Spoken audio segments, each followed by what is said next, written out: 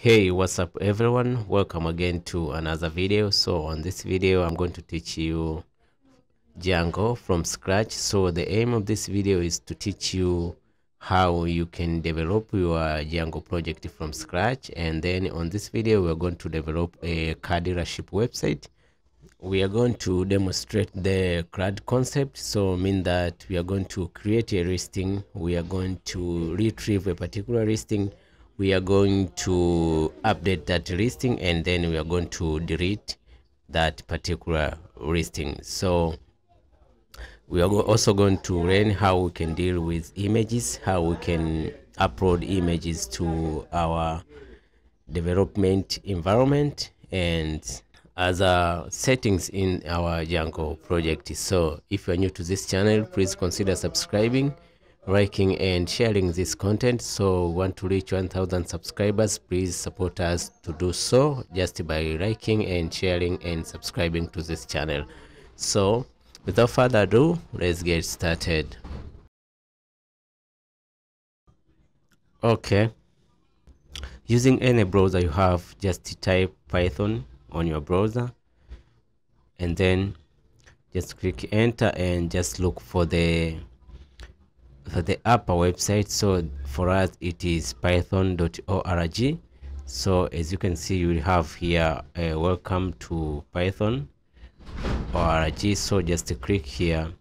You will come up with this beautiful page for the official website for python. So if you are on this page you can just try to look around. There are some tutorials and there are some downloads some docs and some jobs also so as for the recording of this video it is that we are going to use python 3.10.5 so you just need to click here and download the setup. So after downloading the setup you just have to double click the setup and then the installation will start. Just remember to add python to your path so that you won't have other problems in the future when writing your commands on the terminal okay so if you are you are done with the installation it's time to create our folder and start developing our car dealership website. So just anywhere you you normally create your projects just create a new folder and this folder we are going to call it car dealership. So let's call it car dealership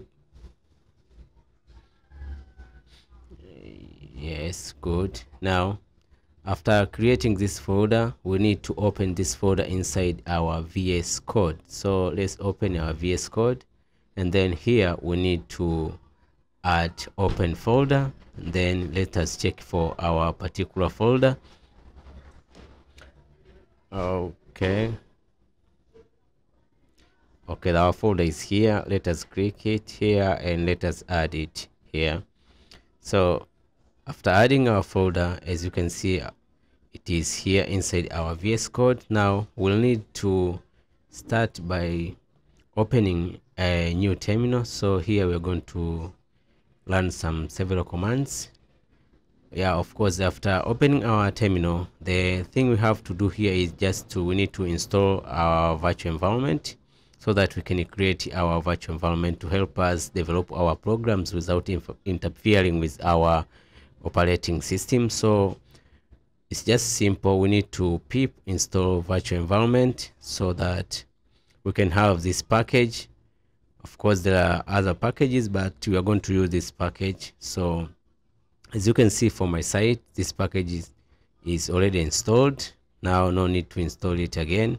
Then after installing this package for your site now you need to create our virtual environment also it's very simple. Just need to write virtual env then we should the name of our virtual environment for us. Let us just call it vnv so our virtual environment is called vnv and then let us click. Let us just add a dot here mean that our vnv folder should be inside our car dealership folder. So click enter and it's going to take some time just wait for it. Now of course our virtual environment is created as you can see. Now if you navigate on your left side you will see that you have a a car dealership. And inside car dealership you have this vmv folder. And then inside you have a script folder which contains the activate.bat file. Now it's time to activate our virtual environment so that we can start our development.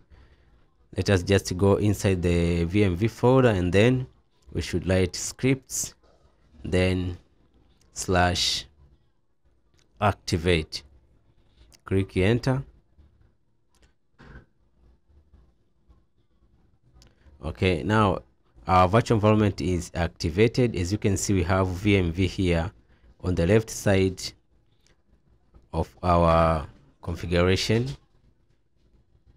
and then it means that our virtual environment is activated. Now let's go back to our car dealership and then it's time for us to install Django let's clear this first.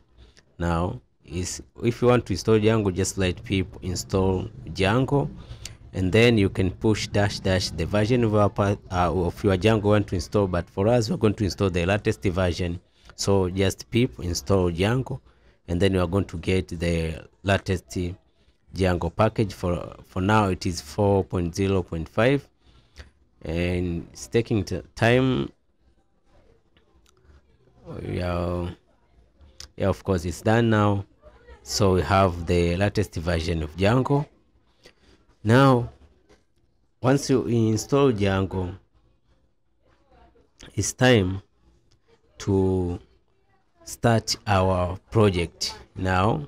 It's simple just let django dash admin start project and then the name of your particular project and then don't forget to add space dot because this will create the folder inside our current development folder. So it's django dash admin start project then the name of your project so for us we're going to call it dealership and then space dot. If you click enter here yeah our new project is added to uh, inside this particular folder. As you can see we have manage.py here added also. And that means our project is started. Now let us try to run our server if everything is okay so python manage.py then run server. As you can see our server is running good and we have a link here which you can paste it to our browser to see if everything is okay.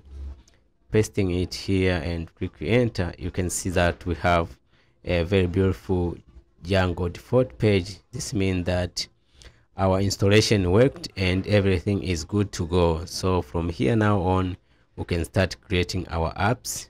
As you know that apps are like a sub function to a particular system. Like if you have a, a website then you can have a blog which you can call it like a standalone an app.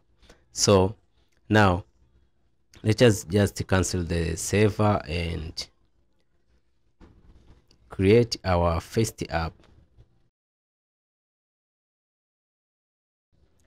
so to cancel your server just press ctrl c and then let us write python manage.py then start app and then the name of our particular app. For us let us just call this app uh,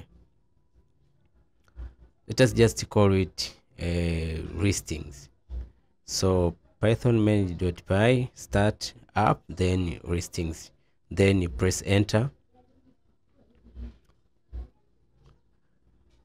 okay good. Our app is created. As you can see here we have a folder called listing here. And then inside we have admin.py models and views. And you have the migrations folder here. Okay. Let me just explain a little bit about this files inside our listings app. So if you open the listings up here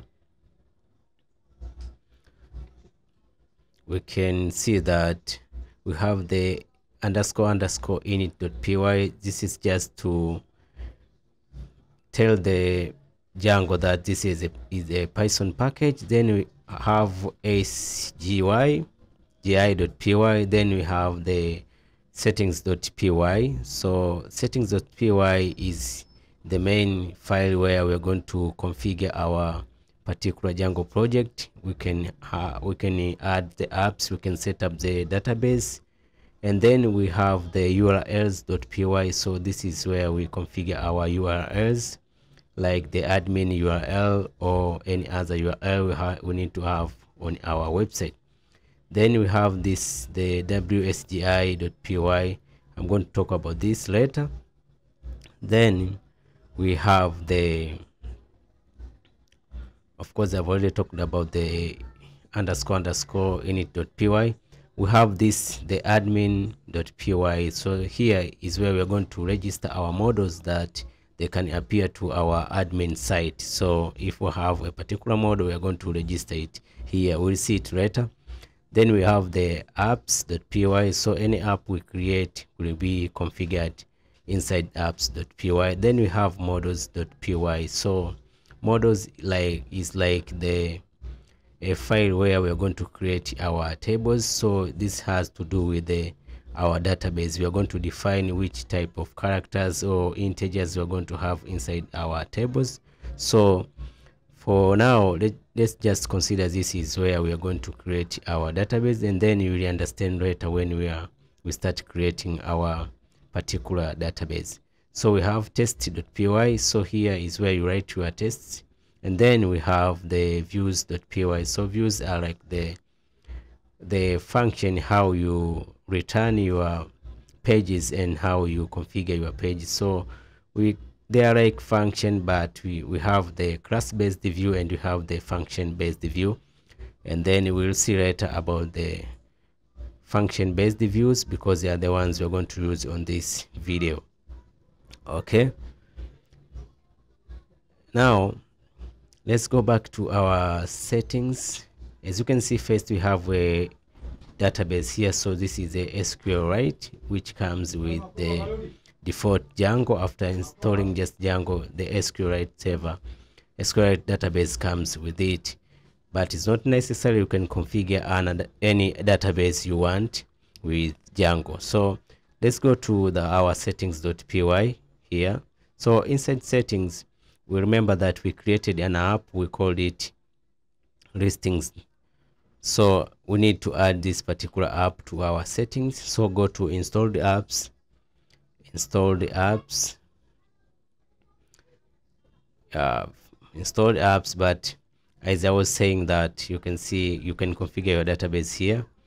Just instead of using SQLite you can use the another maybe MySQL or you can use the Postgres.